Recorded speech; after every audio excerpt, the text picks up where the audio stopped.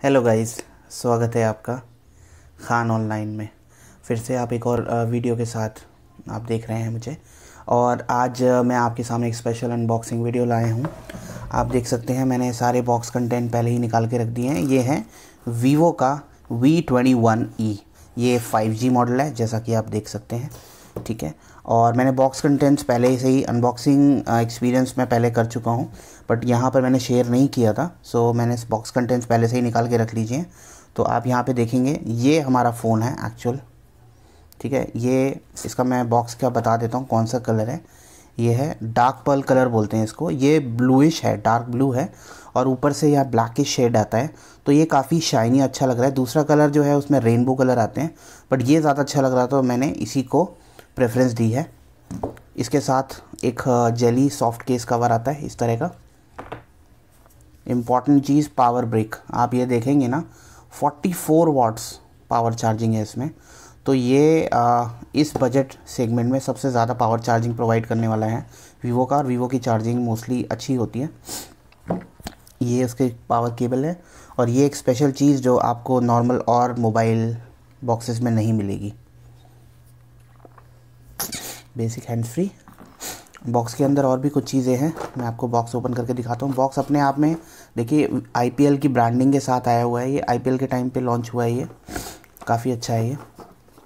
Box का feel बहुत अच्छा है। ये देखिए, इसमें अनरैपिंग में, आप ये देखिए सिम इजेक्टर टूल है वारंटी गाइड है। ये सारी चीज़ें होती हैं, ठीक है? बाकी बॉक्स कंटेंट्स मैंने आपको बाहर दिखाई दिए हैं। तो सीधा फ़ोन पे बात करते हैं।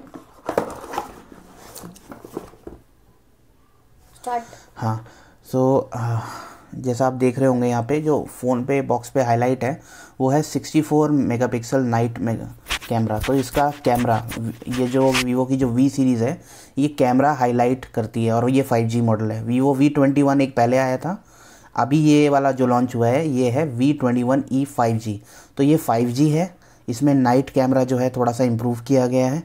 फोर्टी फोर वाट्स का चार्जिंग है। पहले थर्टी थ्री वाट्स आता था, इसमें फोर्टी फोर वाट्स है। चार्जिंग इम्प्रूव हो गई है।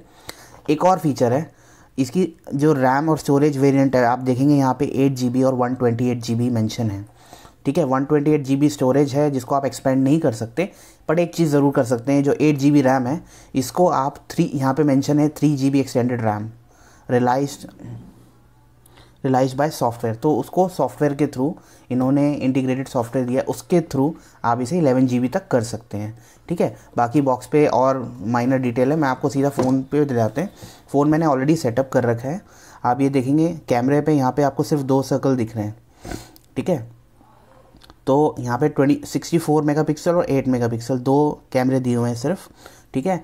और ज़्यादा सर्कल नहीं यूज़ करके इन्होंने बहुत सिंपलिमिस्टिक दिया है। सबसे अच्छी मुझे बात इस फ़ोन की लगी है, इसका जो स्क्रीन है, वो 6.43 इंचेस का है, ठीक है? तो 6.43 इंचेस में एमोलेड डिस्प्ले आपको मिला है, ठीक है? और इसका एक दूसरा कलर देखेंगे, यहाँ पे मैंने स्क्रीन पे ओपन कर रखा है। ये दिखाइए, ये रेनबो कलर होता है इस तरह का। 6.44 इंचेस की यहाँ पे स्क्रीन है। मैं स्पेसिफिकेशन के बारे में ज़्यादा नहीं बताऊँगा फ़ोन का एक्सपीरियंस शेयर करूँगा। बैटरी लोग बोलेंगे, सबसे पहले मैं बात करता हूँ स्क्रीन की। सबसे इम्पोर्टेंट चीज़ फीचर है स्क्रीन स्क्रीन एमोलेड डिस्प्ले है। प्लस जैसे आप एमआई के फ़ोन या किसी और ब्रांड के लेंगे, उसमें आजकल साइड में फिंगरप्रिंट सेंसर आ रहा है। लेकिन क्योंकि एमोलेड है वीवो में यहाँ पर इसमें फ्रंट में मिल रहा है तो आपको पूरी तरह से यूटिलाइज़ कर पा रहे हो।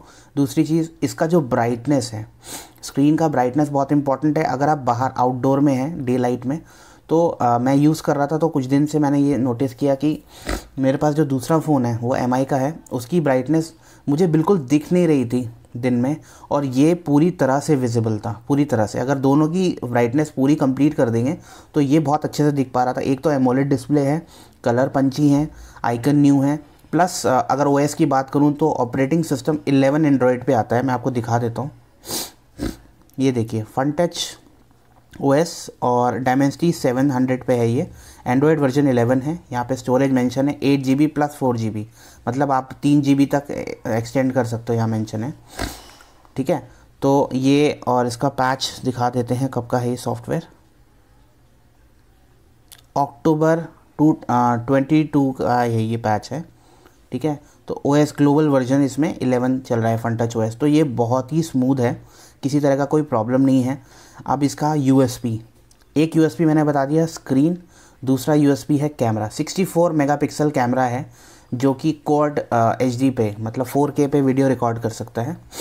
मैंने, मैं आपको दिखाता हूँ, ये आपको दिख रहा होगा अभी।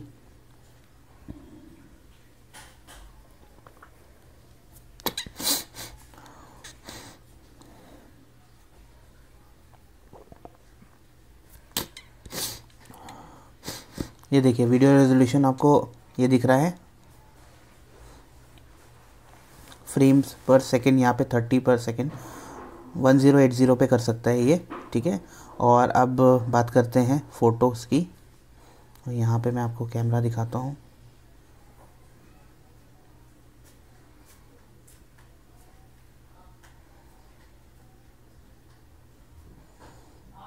ये देखिए 64 मेगापिक्सल पे ये हाईएस्ट आपको दिख रहा होगा, सामने दिख रहा है। ठीक है? प्लस यहाँ पे लाइट मोड है फ्लैश है ऑन बेसिक जितने भी फीचर्स हैं, सारे अच्छे हैं इसके। और कैमरा मैंने यूज़ किया कैमरा के सैम्पल्स भी आपको दिखाऊँगा मैं। ठीक है? कुछ सैम्पल्स को दिखाना चाहता हूँ मैं। ये देखिए आउटडोर का। स्किन को थोड़ा सा ये पिंकिश कर देता है। और कुछ फ़ूड के भी दिखाता हूँ मैं। ये देखिए कुछ इस तरह से पिक्चर्स आते हैं इसके। ये देखिए स्किन टोन को कुछ ऐसे कर देता है ये। थोड़ा ज़्यादा ही इसमें ब्यूटी मोड ऐड है। बाकी ओवरऑल फ़ोन का जो फील है बहुत ही अच्छा है। और इसका जो प्राइस है अगर मैं प्राइस दिखाऊँ ये यहाँ पे बॉक्स पे तो मेंशन है थोड़ा ज़्यादा। बॉक्स पे एमआरपी देखेंगे ट्वेंटी सेवन नाइन नाइन्टी है। मैं लेटेस्ट ऑनलाइन प्राइस देखता हूँ इसका। ये देख सकते हैं आप। यहाँ पे वीवो का जो प्राइस है, यहाँ पे मेंशन है Vivo twenty one G dark pearl जो कलर मेरे पास है सेम कलर ठीक है, ये ट्वेंटी फोर नाइन नाइन्टी का है ये। ठीक है, बाकी जो आपको डील मिल जाए, वो आप देख लेना। इसमें दूसरा कलर एक ये वाला आता है। ये आप देख सकते हैं। ठीक है, एक ये कलर आता है। ये मुझे बहुत अच्छा नहीं लगा पर्सनली सो पर्सनल फेवरेट मेरा यही है ब्लू काफ़ी अच्छा लग रहा है। सटल कलर है। किसी के भी हाथ में अच्छा लगेगा। और फ़ोन बहुत ही कॉम्पैक्ट है, बहुत ही कॉम्पैक्ट है। बैटरी की अब बात कर लेते हैं। बैटरी इसमें जो दी गई है ना, वो चार हज़ार एम की है। वो मानता हूँ मैं, थोड़ी सी बैटरी आजकल के स्टैंडर्ड के हिसाब से कम है, लोग सात हज़ार एम भी दे रहे हैं कुछ ब्रांड्स बट वीवो और ओप्पो की जो खासियत है, वो है quality the make quality products ठीक है? और आपको प्राइस थोड़ा सा ज़्यादा लग सकता है कि जो इन्होंने हार्डवेयर और सॉफ्टवेयर कॉम्बिनेशन उसके हिसाब से, लेकिन अगर आपको क्वालिटी और थोड़ा प्रीमियमनेस चाहिए तो इसका जो बिल्ट क्वालिटी है, वो प्रीमियम है। ऑल ये प्लास्टिक है बट ये ग्लास की तरह फिनिश लगता है, पूरा स्क्रीन पे भी प्रोटेक्शन है, ठीक है? अब तो मैंने इस पर अलग से ऊपर भी लगा लिया है बट स्टिल ये प्रोटेक्टेड है दोनों तरफ़ से और इसका जो कॉम्बिनेशन है बैटरी के साथ चार्जर का, ये चार्जर मैंने देखा एक घंटे से कम समय में ये पूरा चार्ज कर दे रहा है फ़ोन को। बहुत तेज़ चार्जिंग है इसकी। जो लेमन टर्म में बोलूँ ना एक्सपीरियंस जो है, और अगर फ्रंट की मैं बात करूँ कैमरे की मैंने बता दिया बैक कैमरा 64 है। फ्रंट कैमरा आप देखेंगे सेल्फी कैमरा 32 मेगापिक्सल का है इसका। और वीडियो शूट करता है ये भी फुल एचडी में, ठीक है?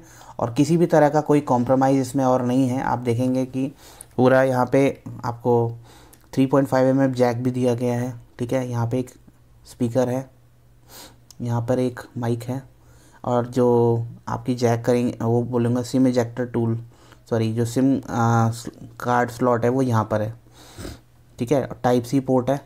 अब टाइप सी स्टैंडर्ड हो चुका है। तो ओवरऑल फॉर्म फैक्टर फील अच्छा है और आप देखेंगे ब्लूटूथ का वर्जन भी 5.1 है जीपीएस सारे बेसिक फीचर सारे सपोर्ट कर रहा है ये। तो मेरे हिसाब से और इसका जो प्राइस है पच्चीस हज़ार रुपये थोड़ा सा ज़्यादा है दो से तीन हज़ार रुपये शायद आपको ज़्यादा लगेगा लेकिन जो क्वालिटी ये provide so thank you guys thank you for watching all the video and ये वीडियो का आपको अच्छा लगा हो तो लाइक करिए शेयर करिए। और सब्सक्राइब uh, करिए मेरा चैनल ठीक है? ज़्यादा से ज़्यादा आप लोगों को शेयर कर सकते हैं। Thank you for watching